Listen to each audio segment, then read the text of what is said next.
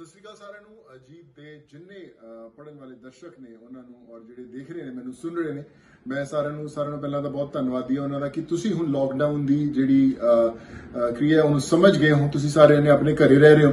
ਬਹੁਤ ਜ਼ਿਆਦਾ ਪੰਜਾਬ ਦੇ ਲੋਕੀ ਪਹਿਲਾਂ ਜਿਹੜੀ ਗੇੜੀਆਂ ਮਾਰਨ ਨਿਕਲਦੇ ਸੀ, ਹੁਣ ਜ਼ਿਆਦਾ ਤੋਂ ਜ਼ਿਆਦਾ ਘਰੇ ਨੇ, ਜਿਹਦੇ ਕਾਰਨ ਅਸੀਂ ਜਲਦੀ ਇਸ ਕਰੋਨਾ ਵਾਇਰਸ ਨੂੰ ਹਰਾ ਸਕਦੇ ਹਾਂ। ਬੜਾ ਜ਼ਰੂਰੀ ਹੈ ਕਿ ਤੁਸੀਂ ਜਦੋਂ ਵੀ ਘਰੋਂ ਬਾਹਰ ਜਾਂਦੇ ਹੋ ਮਾਸਕ ਪਹਿਨੋ।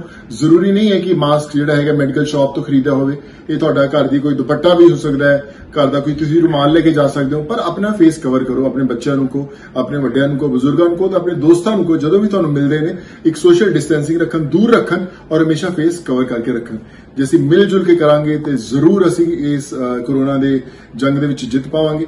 ਮੈਂ ਇੱਕ ਆਪਣੀ ਮੁਹਿੰਮ ਸ਼ੁਰੂ ਕੀਤੀ ਹੈ ਆਪਣੇ ਫਾਦਰ ਸ਼ਕਤੀ ਸਾਗਰ ਸੂਦ ਜੀ ਦੇ ਨਾਮ ਤੇ, ਜਿਹਦਾ ਨਾਮ ਹੈ ਸ਼ਕਤੀ ਅੰਨਦਾਨਮ ਜਿੱਥੇ ਬਹੁਤ ਸਾਰੇ ਲੋਕਾਂ ਨੂੰ ਖਾਣਾ ਦਿੱਤਾ ਜਾ ਰਿਹਾ ਹੈ। ਕਰੀਬਨ 45000 ਲੋਕ ਮੁੰਬਈ ਦੇ ਵਿੱਚ ਯੂ نو ਖਾਣਾ ਉਹਨਾਂ ਨੂੰ ਰੋਜ਼ ਪਹੁੰਚ ਰਿਹਾ ਹੈ। ਤੇ ਮੈਂ ਹੀ ਕਹਾਂਗਾ ਕਿ ਇਸ ਪਰਿਵਾਰ ਤੁਸੀਂ ਇਕੱਠੇ ਹੋ ਕੇ ਜੇ ਕਿਸੇ ਦੀ ਮਦਦ ਕਰ ਸਕਦੇ ਹੋ ਤਾਂ ਜ਼ਰੂਰ ਕਰੋ। ਚਾਹੇ ਇੱਕ ਫੈਮਿਲੀ ਮੈਂਬਰ ਦੀ ਤੁਸੀਂ ਖਾਣਾ ਪਹੁੰਚਾਉਣ ਦੀ ਕੋਸ਼ਿਸ਼ ਕਰੋ। ਇੱਕ ਫੈਮਿਲੀ ਦਾ ਜਿੰਮਾ ਉਠੋ। ਮੈਨੂੰ ਲੱਗਦਾ ਕਿ ਜੇ ਅਸੀਂ ਆਪਾਂ ਸਾਰੇ ਮਿਲ ਕੇ ਕਰਾਂਗੇ ਤੇ ਅਸੀਂ ਇਹ ਜੰਗ ਨੂੰ ਜਲਦੀ ਜਿੱਤ ਜਾਵਾਂਗੇ।